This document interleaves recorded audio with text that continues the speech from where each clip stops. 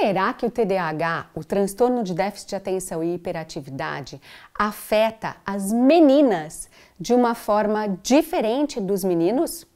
Bora lá conversar sobre isso.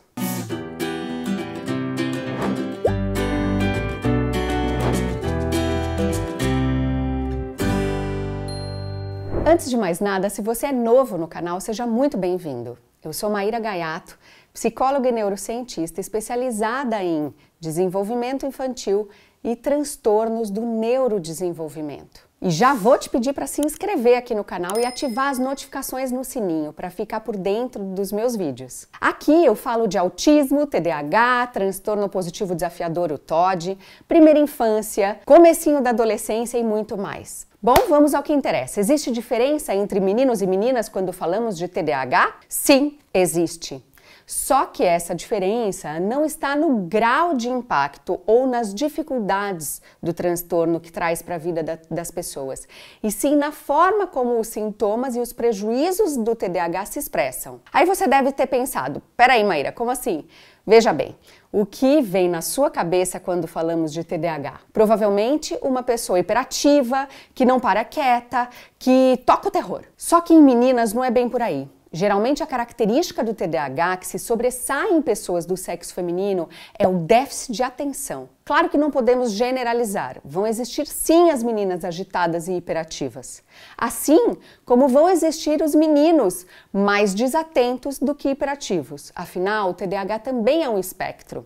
Só que a maioria delas não vai ter esse H da hiperatividade gritante e com isso elas são subnotificadas. Então, por exemplo, a menina chega na idade escolar e começa a apresentar dificuldades. Ela não vai muito bem nas matérias, desenvolve problemas de aprendizagem e autoestima e em casa fica na dela, quietinha.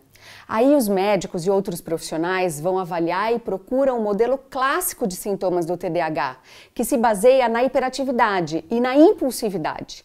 E nisso, os sintomas que ela demonstra, que eu já vou explicar mais para frente, são atribuídos a outras causas ou expectativas culturais. E por cultura, eu falo da forma como socializamos e criamos as meninas. Hoje em dia não é uma regra, as coisas mudaram bastante, mas culturalmente as meninas são educadas para serem calmas e quietinhas. Então, mesmo que elas demonstrem uma série de dificuldades, por elas serem mais comportadas, o TDAH não é a primeira opção. E nisso a menina vai acumulando mais e mais atrasos, faz um tratamento que não é o adequado e segue perdendo qualidade de vida. Então, para a gente não correr o risco da nossa filha ou paciente que é TDAH passar desapercebida, precisamos nos atentar aos seguintes sintomas: a desatenção. Ela é mais dispersa, dispersa muito fácil. Qualquer coisa tira a atenção e o foco dela. Ela também pode apresentar uma dificuldade muito grande de entender e seguir regras logo de primeira. Pode ser entre as pessoas mais próximas que ela fale muito e descontroladamente, porque existe essa dificuldade na organização das ideias. Porque, mesmo sendo mais calma, por fora, o cérebro dela tá a mil, com mil ideias, muitas coisas surgindo por segundo. E nisso ela tem uma tendência a interromper conversas ou a não acompanhar de primeira os diálogos entre os pares. E é aí que entra a dificuldade em manter amizades. E até por essa dificuldade que ela tem em manter amigos, ela pode viver no mundo da lua, viver no mundo dela e ser até bem fantasiosa. Ela pode ter problemas com compromissos, tanto pela desorganização quanto pela baixa autoestima, que a leva a procrastinar, adiar as coisas, deixar para depois. Outra questão que pode acontecer com a menina com TDAH é a instabilidade emocional.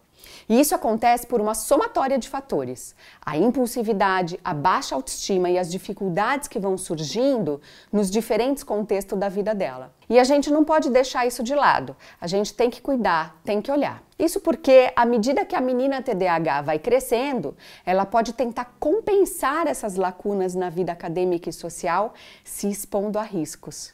Então, tem uma tendência maior para desenvolver não só depressão, mas também vícios, como fumar, beber, e isso nós não queremos de jeito nenhum. Tá, e o que, que a gente precisa fazer para ajudar meninas e mulheres com TDAH? Sem dúvida, a prioridade é o tratamento, que combina as terapias com o remédio. Com a equipe multidisciplinar envolvida, a menina TDAH ela vai trabalhar, por exemplo, estratégias para manter o foco nas atividades. Além disso, é importante ter esse apoio psicológico, porque elas correm risco de desenvolver depressão, ansiedade e outras comorbidades associadas. O remédio, por sua vez, vai ajudar a regular o desequilíbrio químico que acontece no cérebro do TDAH. Essa combinação entre terapia e remédio é de suma importância e faz toda a diferença para o desenvolvimento da criança. Mas vale lembrar que nem todo caso é medicamentoso. Sempre converse e confie no especialista que estiver envolvido no tratamento. Precisa fazer algumas atividades exercícios de reabilitação também. E em casa, o que, que os pais podem fazer?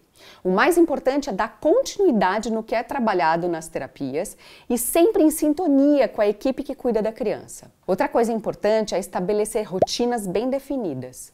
Então, usar quadro de rotinas, alarmes e tudo mais que ajude na organização das tarefas diárias, isso é muito bem-vindo. Uma dica essencial é sempre usar frases objetivas e curtas para cada objetivo. Então, se ela tiver seis tarefas, por exemplo, para fazer no dia, você não fala todas de uma vez. Vai quebrando esses comandos em objetivos menores, porque aí ela não fica afobada, ansiosa e com medo de não dar conta, que provavelmente se ela tiver assim é o que vai acontecer.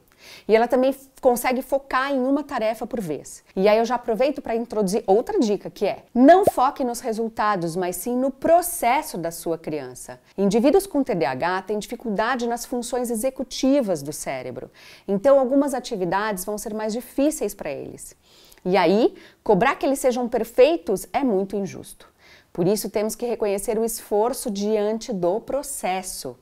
Isso ajuda demais na autoestima e na autoconfiança. E aí, gostou de saber mais sobre o TDAH em meninas? A gente precisa falar sobre esse assunto cada vez mais, para evitar que elas sejam subnotificadas. Se tiver restado alguma dúvida, deixa aqui nos comentários que eu te ajudo. Não se esqueça de se inscrever no canal e de compartilhar esse conteúdo, hein?